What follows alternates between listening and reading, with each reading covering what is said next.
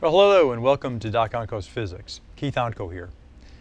What we want to look at today is another one of Newton's laws problems, and today what we've got is an object on a ramp, on a frictionless, a frictionless ramp. And we'd like to know just what the acceleration is going to be as our object goes from, say, the top of the ramp down to the end of the ramp. And we're going to assume also that from the position that it starts to the position that it ends is about five meters. Okay, and so we'd also like to figure out uh, what the velocity is going to be of our block when it hits the bottom of the ramp. So one of the interesting things that we can do in physics is we can come up with our own coordinate systems as I've mentioned before. And that's something that we need to do in this case, and it may seem a little bit odd, but it's perfectly valid.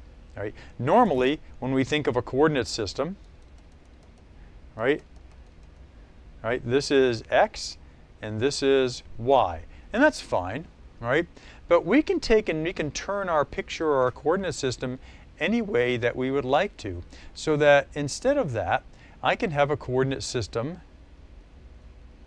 like this where this is y and this is x. Okay? And positive x would be to down the ramp, and positive y would be in that direction. So that would be positive x, and positive y again would be in that direction up there.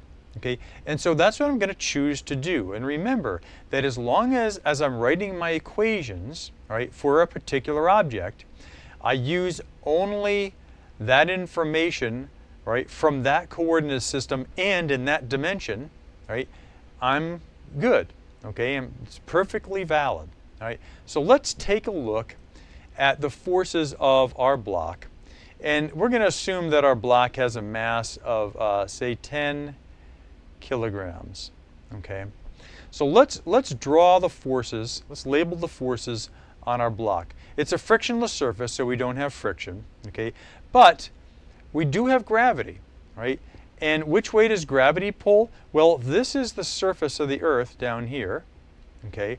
Then gravity, remember, always pulls in a direction that looks like that. It's always going to pull towards the center of the Earth. Well, if gravity is pulling in that direction, right, but we know that our block is going to be moving in that direction, something is move, making it move in that direction. Okay, so what I can do here is I can break up my gravity vector, this is my force due to gravity, into its components. Right? And I want to find the x component, right? The x component due to gravity, and I want to find the y component due to gravity. All right? So I'm going to draw in some lines like this. Okay. And this component here is going to be the y component due to gravity. And this component here is going to be the x component due to gravity. All right? I have an angle, theta, that my ramp is angled at.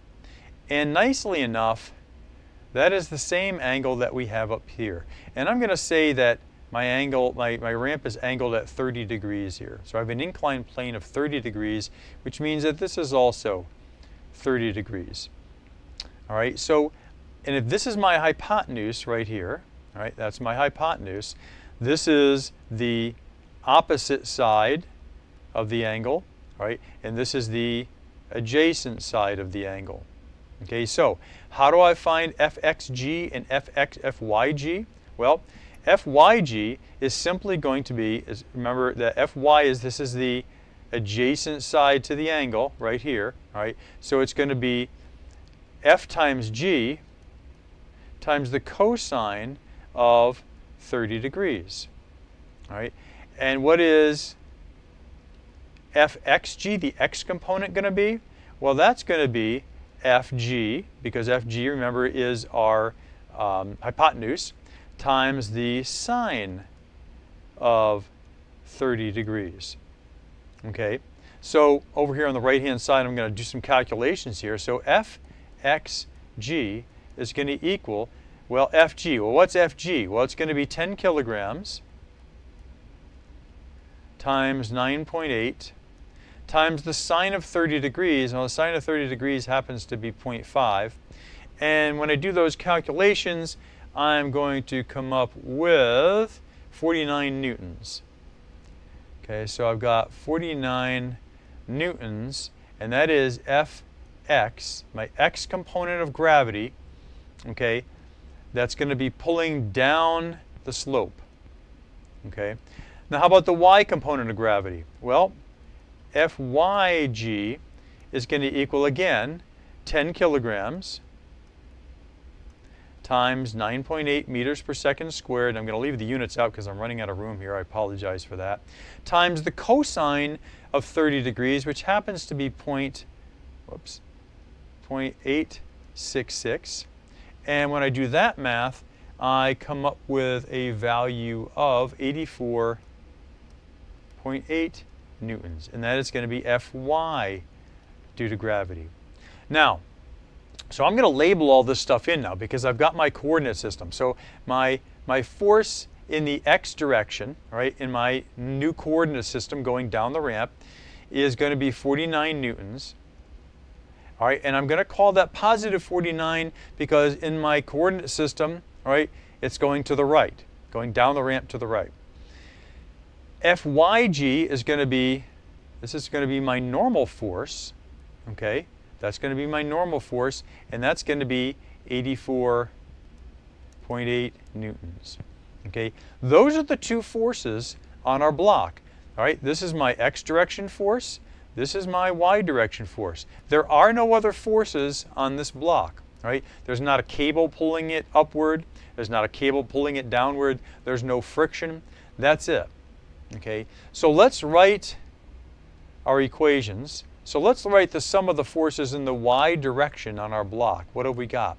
Well, we've got 84.8 newtons. All right, that's our normal force, minus 84.8 newtons, and that's the y component of gravity, right? And that equals zero because our block is not accelerating in, in the up and down position, right? It's only accelerating in our x uh, direction. So that really doesn't give us much information there. But let's write the equation in the x direction. Now remember, the x direction is our x direction in our, in our new coordinate system. Right? So what do we got? We have a positive 49 newtons. Okay? And there are no other forces in the x direction. So what does that equal? Well, it equals the mass of the block, which is 10 kilograms, right, times the acceleration of our block going down to the right. Right? So if I take 49 newtons, I divide by 10 kilograms, I get an acceleration equal to 4.9 meters per second squared. All right? So there's our acceleration of our block. Okay? I like to know the velocity of the block at the end of the 5 meters because remember I said that it starts out it starts out at the position shown and it's five meters from that position to the bottom of the of the ramp. Okay. Well, I'm going to have to use my old kinematics equations. All right. I don't know time. All right, and that's okay because there's an equation v final squared equals v initial squared plus 2 times a times x. I can use that. Well, I know the acceleration now. I know the displacement. I know the initial velocity because our, our block starts from rest. We didn't really say that, but we're assuming it starts from rest. So I can find out our final velocity. So Vf squared is going to equal 0 squared plus 2 times a, well, we forget our a is 4.9 meters per second squared, right? Times x, our displacement is 5 meters, right? And so 5 times 4 point, uh, 5 times 2 is 10 times 4.9 is 49 meters squared per second squared. That equals Vf squared. And so V final is equal to 7 meters per second. Now remember that using this equation, we lose the sign. Okay? However, so we, we have to look at which the direction of our, our block is moving in. Well, it's moving in the positive x direction in our coordinate system. And so we don't have to add a negative sign in there. It's truly just 7 meters per second as it hits the, the, the bottom of the incline. Well, again, um, what are the keys to solving this problem? The key was in creating our own coordinate system, perfectly valid, right, to match the motion of the object, right? The motion of our object was not in our traditional XY coordinate system. We had to make an adjustment. We had to turn and twist our coordinate system to match the motion of our, of, of, of our object. That's what we did. After that, it was just finding the forces, writing the equations, and solving the problems. I hope that helps, have a great day.